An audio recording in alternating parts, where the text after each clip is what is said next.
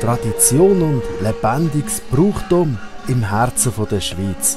Erlebt die Waldner Alpabfahrt in Kerns am Samstag, 26. September. Lass dich begeistern von prächtig geschmückten, kühnherzigen Kälbli, rausgeputzten Aublerinnen und Aubler mit ihren urchigen Trachten. Sie sind unterwegs mit Sack und Pack, Kessi und Brenten. Genießt die hiesigen Spezialitäten am Stand oder im gemütlichen Beizli am Ecken. Da gibt's herzhaften Käse und sämige Alpenanken. Kannst grad Sackmesser brauchen für die feinen, obwaldenen Würste und den Schnäffel.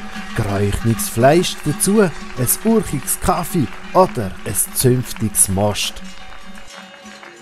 Am Strassenrand Glockenklänge und Jodlergesang, Alphornblasen und Handörgeli-Spiel. Nicht verpassen, am 11 Uhr geht's los, kannst auch schon früher kommen, an Kernser Alpabfahrt vom Samstag, 26. September. Ein Erlebnis für Jung und Alt.